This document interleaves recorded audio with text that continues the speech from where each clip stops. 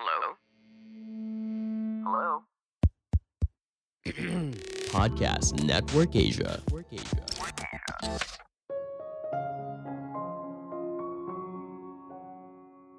Jika kamu ingin mengubah dunia, dimulai dari rapikan ranjangmu. Halo semuanya, nama saya Michael. Selamat datang di podcast saya, Sikutu Buku.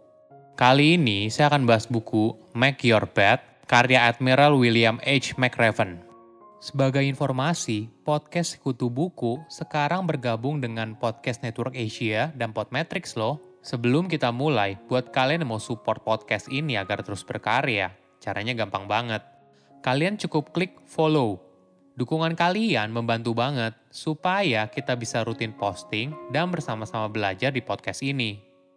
Buku ini membahas kalau sukses itu merupakan kombinasi dari dorongan pribadi dan dukungan dari lingkungan sekitar.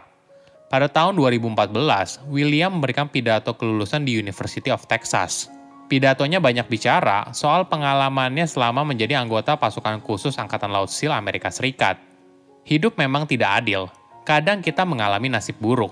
Namun, kita selalu punya pilihan apakah kita mau menyerah atau menerima keadaan dan bergerak maju. Ini yang menentukan apakah seorang berhasil atau gagal dalam hidupnya. Selain itu, kita juga banyak belajar kalau di dunia ini kita tidak bisa sendirian. Kita perlu bantuan orang lain untuk sukses. Oleh karena itu, penting kita menemukan orang yang bisa kita percayai untuk bisa mencapai hal besar bersama-sama. Saya merangkumnya menjadi tiga hal penting dari buku ini. Pertama, disiplin dari hal kecil. Jika kamu mau mengubah dunia, mulailah dari hal terkecil dulu. Bisa dimulai dari merapikan ranjang.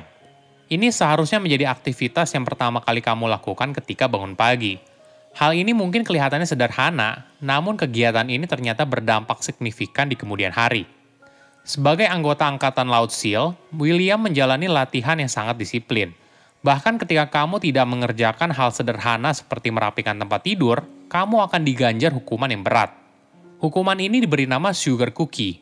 Jadi, kamu harus menyelam di Laut Pasifik yang dingin, lalu berguling di pantai hingga seluruh tubuh kamu penuh dengan pasir dari ujung kaki hingga ujung kepala.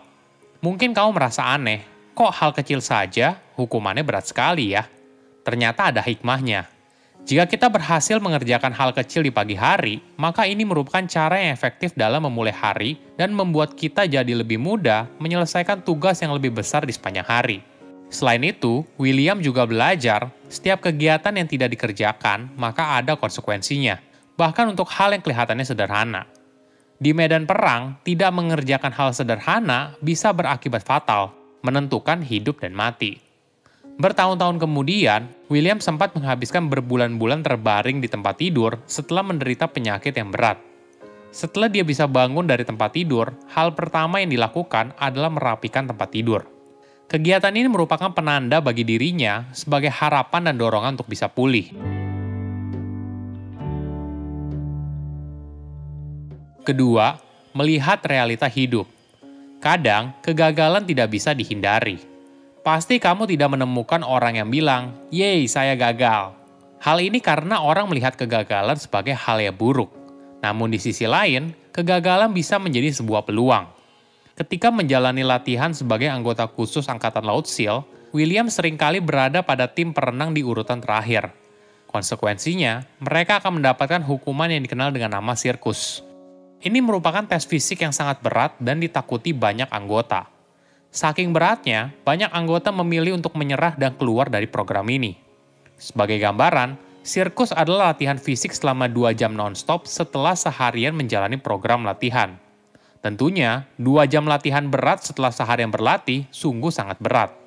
Para anggota yang menjalani hukuman sirkus, fisiknya jadi terlalu letih dan akhirnya performa latihan mereka juga buruk keesokan harinya.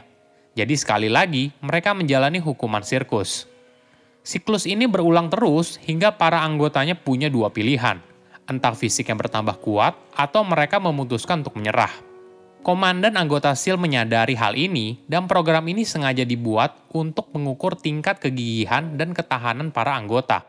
Mereka ingin memastikan hanya yang terkuat dan yang paling berkomitmen yang bertahan. Ketika banyak anggota yang memutuskan untuk menyerah, William berusaha membuat pikirannya fokus dan terus bertahan. Hingga akhirnya, ketika dia menjalani tes berikutnya, dia mampu keluar sebagai yang paling unggul di angkatannya. Ini adalah pelajaran penting.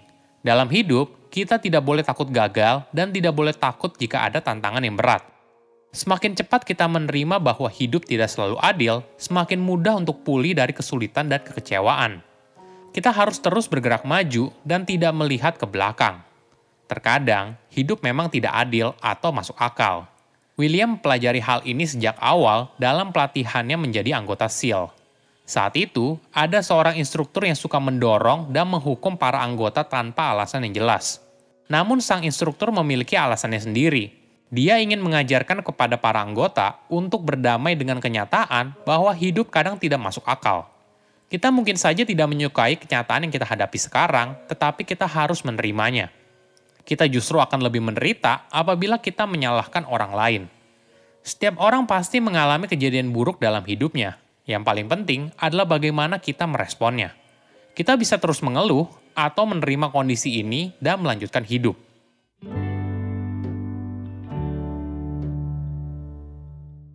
Ketiga, sukses itu tidak hanya sendirian. Pasti kita sering dengar istilah self-made millionaire. Walaupun hal ini terlihat keren, namun jika diteliti lebih dalam, boleh dibilang dia tidak melakukan semuanya sendirian. Selain kesempatan, dirinya pasti juga mendapatkan bantuan dari lingkungan sekitar, baik berupa material maupun imaterial.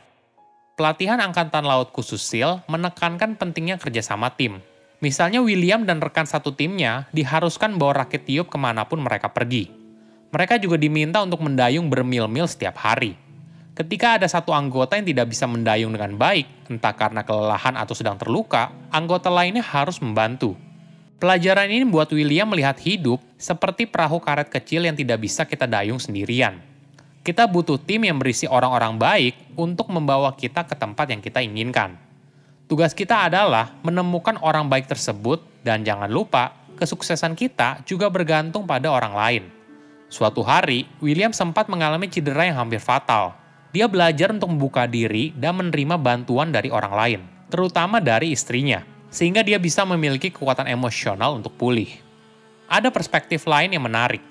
Pasti kamu sering dengar istilah "don't judge a book by its cover" yang artinya jangan menilai orang lain hanya dari penampilannya saja. Walaupun begitu, kita sering kali mengabaikannya dan menilai seorang hanya dari penampilan, bukan karakternya.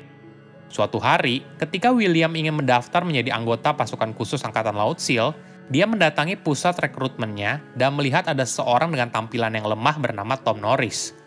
Jika orang hanya melihat dari penampilannya saja, tidak ada yang menyangka kalau Tom merupakan anggota veteran SEAL yang heroik. Ketika masih aktif bertugas, Tom merupakan pahlawan perang.